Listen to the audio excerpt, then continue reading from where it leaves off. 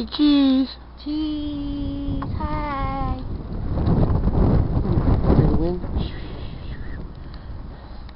Got about six inches of snow, everybody. Not much. Light snow.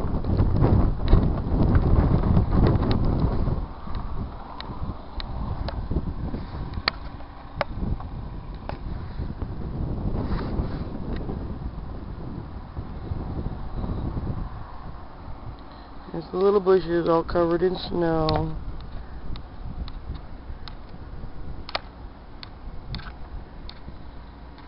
People playing with their snow snow removers, whatever, Snow blowers. snow blowers. He's trying to dig his car out down there.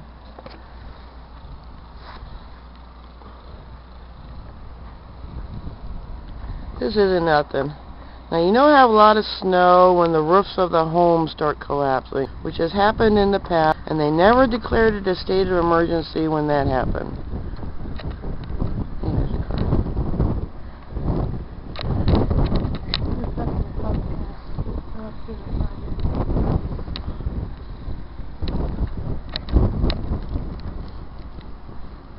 Typical snow for South Dakota.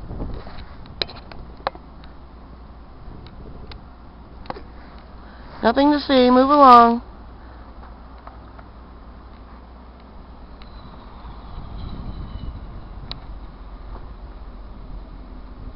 Why is he just sitting there?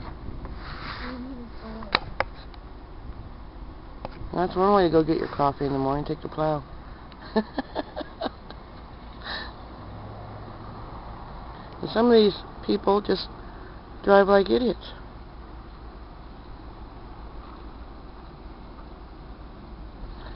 I'd say we got about six, maybe seven inches.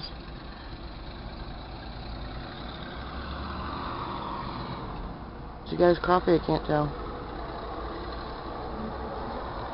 Guys coffee.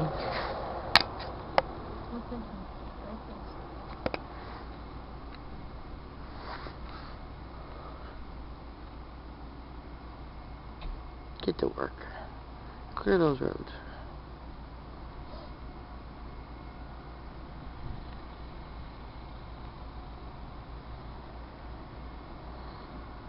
Like a little foggy too, don't it?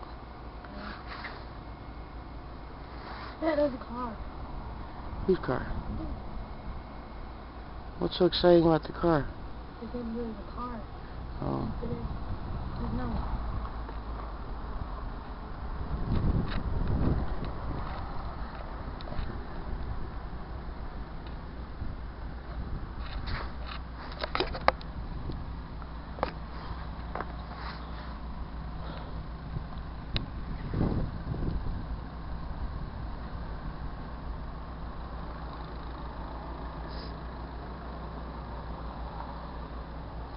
See, it's not a lot of snow around his car.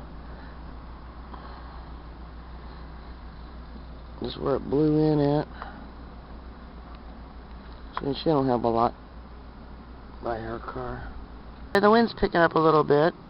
supposed to get like 20 mile an hour winds. This ain't bad. I've seen it much worse here. Still snowing. I don't know if you can tell. Sometimes the wind blows and you can see it coming off the roof next door.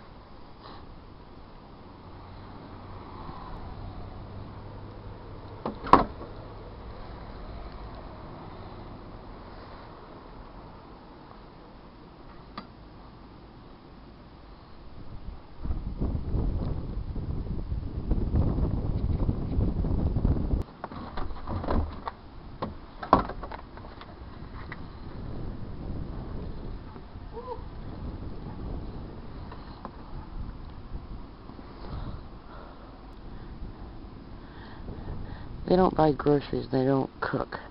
They eat out. I was teasing my daughter, telling her, well, we made biscuits and gravy with blackberry sauce and corned beef and hash, and I'm sure they smell the food. So I wonder if they're going to go out and buy some breakfast, because she don't cook.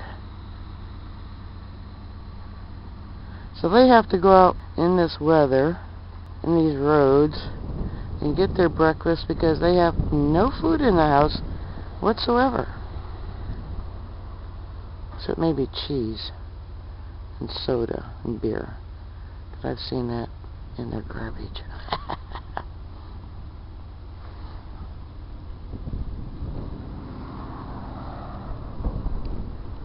this is why you have food in your house for days like this, storms, adverse weather, so you don't have to go out. You just stay home where it's nice and cozy and watch the weather through the window. But some people have no common sense.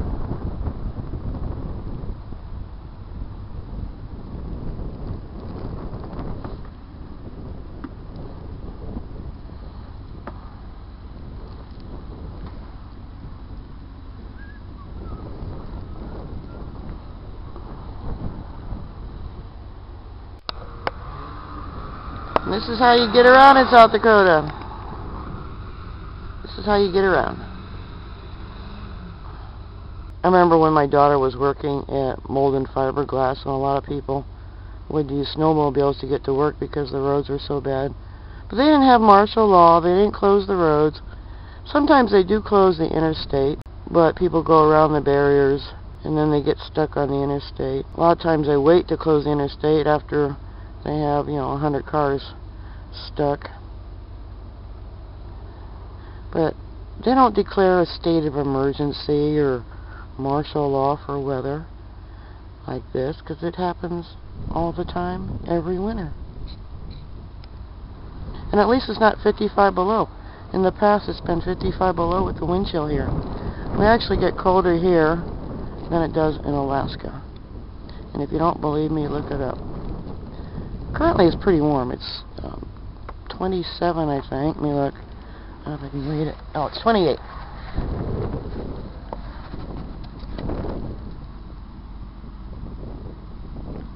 Can you see it? It's currently 28 degrees. Snow blowing in my face. But because they don't cook, they have no food in their house, and they go out for every meal, breakfast, lunch, and dinner, and that's got to be expensive. So if there's any type of natural disaster, guess what? They're going to be the first ones that starve. Let's say the power goes out and the restaurants aren't open. You know, the, gas station, quick stops, grocery stores are closed. What are they going to do then?